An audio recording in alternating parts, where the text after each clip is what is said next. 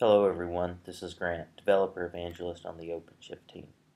In this video I'm going to show you how to create and use a Node.js application on the OpenShift platform as a service. The first thing we'll want to do is create our application. In order to do that, you can use the RHC create app command, pass in your application name, and pass in the type of application. In this case, it's Node.js. 0.6 will authenticate.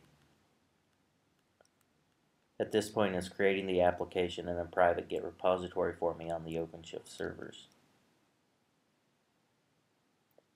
Now that our application has been created, we can modify the application to embed any database cartridges or other cartridges that may, we may want to use for our app. In order to embed MongoDB, for example, I can use RHC CTL app pass in the application name, which is my app, dash E for embed, and then add MongoDB 2.0 support.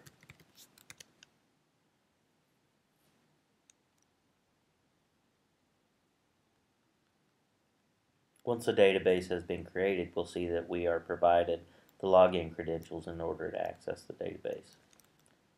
Let's have a look around at the newly created application. If I go into the My App directory, we can see that I have a deplist.txt and a node modules. This will allow you to, to load any NPM dependencies that you may have for your application. Once you've modified your code, all you need to do is a git commit and git push, and your application will be live on the OpenShift server. Thanks for watching this video. If you have any questions, make sure to drop by IRC. We are on pound OpenShift on Freenode or you can always email us, openshift at redhat.com.